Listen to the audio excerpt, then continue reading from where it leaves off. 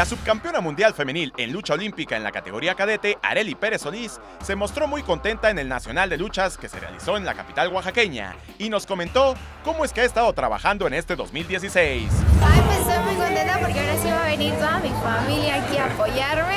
Pues ya estoy contenta porque ya estoy en el peso, ya nada más en unas horas ya empiezo el y ya, soy lista.